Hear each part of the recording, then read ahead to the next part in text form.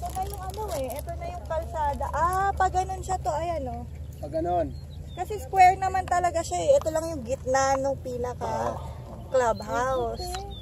Tapos ito na yung ano, ito na si Yung sinihan yan, banda rito ata yung sinihan. nun. dito sa kanan. Ayan yan.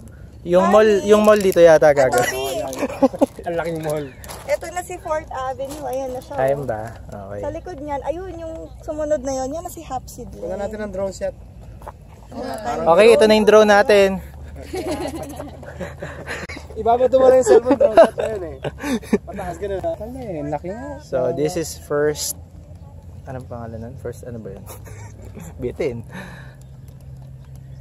2018. Ah, ano? First Park Homes man tawag doon? Tama, tama. Park Homes ata. Park First Park Homes in 2018.